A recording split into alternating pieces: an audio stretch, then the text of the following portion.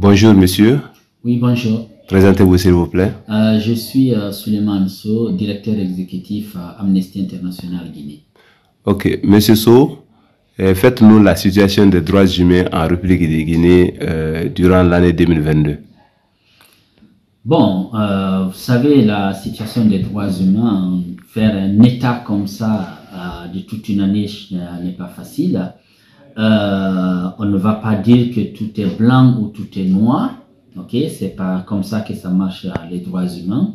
Il faut signaler tout d'abord qu'il y a eu euh, des avancées en, en 2022 parce que un, il y a eu l'ouverture par exemple du procès euh, des événements du 28 septembre.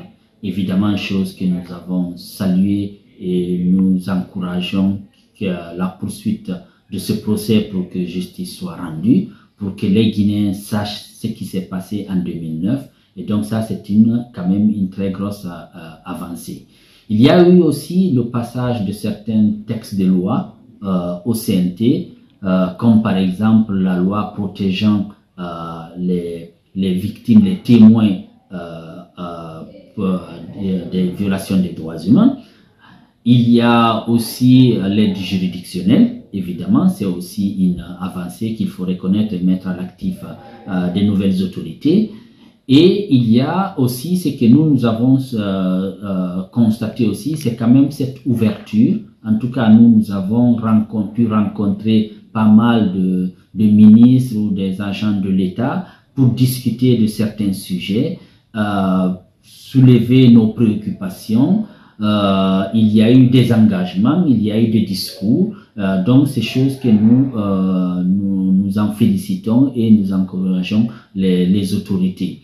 Après, il y a eu évidemment euh, des, des difficultés, euh, des parties où, par contre, là, il faut, on espère que les choses vont changer. C'est par exemple sur euh, l'espace civique, la liberté d'expression et de manifestation, que nous avons malheureusement euh, constaté. Il y a eu un recul. Euh, cette décision des nouvelles autorités d'interdire toutes les manifestations à travers tout le territoire, pour nous, est inconcevable et ça viole euh, le droit international, tous les engagements de la Guinée. Et donc, on ne peut pas euh, interdire toutes les manifestations sur l'ensemble du territoire. Et puis, euh, il y a aussi euh, cette dissolution euh, du FNDC. Euh, on ne peut pas prendre comme ça une simple, un simple arrêté pour dissoudre, dissoudre pardon, euh, une organisation de la société, euh, de la société civile. Il y a aussi le fait quand même, il faut aussi le reconnaître qu'il y a eu pas mal de journalistes qui ont été soit arrêtés ou des émissions suspendues, euh, des, des convocations de certains journalistes dans, dans notamment des camps militaires. Et donc tout cela, évidemment, ne favorise pas la liberté d'expression et euh, la liberté d'association et de réunion euh, pacifique. Donc euh, rapidement, on a des points positifs, mais là, évidemment, le tableau est un peu sombre à ce niveau, notamment sur les droits, les libertés fondamentales. Ok, dans l'exercice de vos activités, quelles sont les difficultés que vous avez rencontrées? Alors, pour le- ah, nous, Amnesty, au cours de l'année euh, 2022, on a pu quand même mener euh, pas mal d'activités. Nous avons sorti, par exemple, un rapport sur les violences sexuelles, euh, notamment les, euh, cas de viol.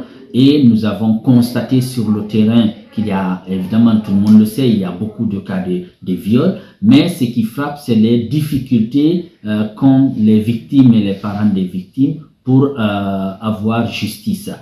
Quand une personne est victime de viol, euh, les premières difficultés, c'est par exemple l'enregistrement de sa plainte ou bien aller voir un médecin euh, légiste pour euh, euh, établir, euh, comment on dit, pour euh, avoir cette attestation, ce certificat plutôt médical. Et donc, ça, ça rend la procédure très complexe, très difficile.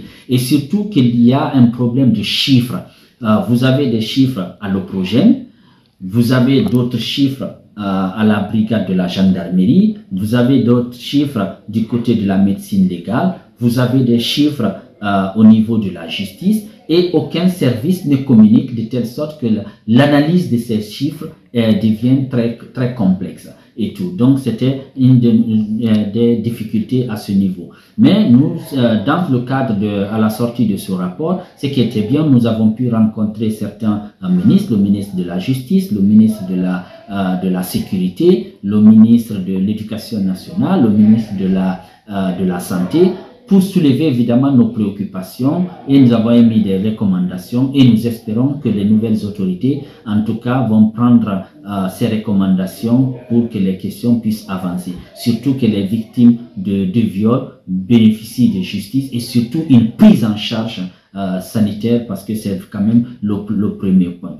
Euh, en dehors de ça, Amnesty mène beaucoup d'activités sur le terrain. Nous faisons beaucoup de campagnes qu'on appelle éducation aux droits humains. Donc, euh, pour faire simple, c'est des sensibilisations. Nous allons dans des écoles pour parler euh, des droits humains, notamment présenter la Convention des droits de l'enfant, parler de la Déclaration universelle des droits de l'homme, pour sensibiliser à cette culture de la citoyenneté au, au, au, au, niveau des, des, des, élèves. Mais aussi, nous organisons des sessions de formation. Il arrive, nous organisons des formations pour des journalistes ou pour d'autres personnes sur euh, les mécanismes euh, du droit international, sur la protection, euh, sur d'autres sujets, en tout cas en lien avec les droits humains. Mais aussi, on implante qu'il y ait le plus d'activistes euh, des défenseurs des droits humains. Donc, nous avons des membres un peu partout à travers le pays. Nous avons des antennes à l'intérieur du pays. Donc, tout ça, ce sont des, travaux que nous faisons. Mais il y a aussi, euh, en plus, il y a des, des, travaux de plaidoyer que nous faisons, des rencontres avec, par exemple, les membres du CNT. On organise des ateliers. Euh, on a tenu un atelier, même si c'était dans le cadre d'un collectif des ONG, pour un euh, une appropriation des recommandations IPU avec les, les honorables euh, conseillers. Donc, euh, ce travail aussi, ça s'est très bien passé et surtout, nous espérons que ces députés euh, pourront euh, faire le suivi de la mise en œuvre de ces, de ces recommandations. Donc, voilà quelques activités que nous menons sur le terrain. Évidemment, la difficulté, vous savez, très souvent, en Guinée, évidemment, il y a cette distance. Maintenant, ça va beaucoup mieux cette année parce que les, les, les, les, les déplacements, les routes, euh, ça va beaucoup mieux. Mais il y a la question des fois, c'est un peu difficile euh, de rencontrer certaines personnalités, avoir certaines autorisations et cette restriction euh, de, de manifestations fait que quand vous allez à l'intérieur du pays, euh, on nous pose sans cesse euh, de demandes d'autorisation de, et on n'arrête pas de demander des agréments alors que évidemment euh, on ne délivre plus des agréments même si on a euh, notre, euh, nos, nos, agréments, mais ça rend pour l'espace civique, pour d'autres organisations, la situation assez, assez compliquée. Mais globalement, à l'année, nous avons pu mener sans difficulté sans trop de difficultés nos activités, ce qui fait que d'ailleurs nous arrivons à obtenir certains, euh, certains résultats, même si par par ailleurs, d'autres résultats, notamment la libération des prisonniers d'opinion, Fonike Mengue et Ibrahim Diallo, nous n'avons pas réussi à obtenir cela malgré notre action urgente que nous avons lancée, les interpellations que nous avons faites euh, au niveau des autorités. Malheureusement, pour le moment, euh, on n'a pas été entendu à ce niveau. Vos perspectives dans le futur?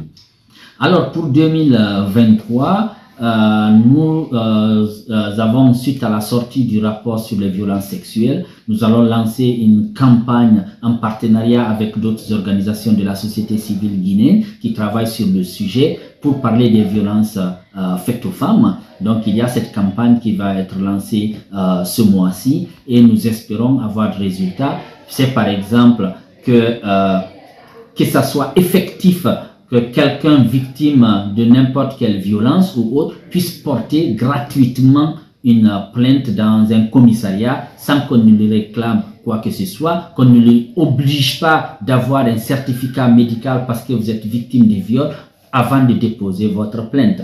Et on demande aussi à ce que les victimes soient, par exemple, puissent bénéficier euh, d'une prise en charge médicale et que surtout que la Guinée révise certains textes de loi aussi, euh, notamment euh, qu'il y ait une loi spéciale, par exemple, euh, sur les cas de viol. Et nous nous battons aussi pour l'autre perspective pour 2023. Nous espérons que la Guinée va se doter d'une loi portant promotion et protection des défenseurs des droits humains. Ça fait depuis 2016 que nous œuvrons pour que la Guinée ait une loi protégeant les défenseurs des droits humains. Nous espérons que cette année sera la bonne et nous espérons aussi que la Guinée va enfin réviser la loi régissant les associations pour clarifier le rôle, le fonctionnement et surtout pour libéraliser les, les agréments pour les pour les, pour les associations et aussi l'autre euh, euh, euh, grand chantier que nous travaillons depuis longtemps où nous n'avons pas obtenu suffisamment de résultats sur lequel nous allons travailler. C'est par exemple aussi, nous espérons en tout cas que les autorités fera, mettra la lumière sur tous les cas de mort qu'il y a eu lors des différentes manifestations à travers le pays et que les coupables soient poursuivis pour que justice soit rendue. Et donc, euh, et surtout, nous espérons que les autorités vont lever cette interdiction euh, de manifestation que les citoyens vont bien profiter euh, de leur liberté. Merci, Monsieur So. Merci à vous.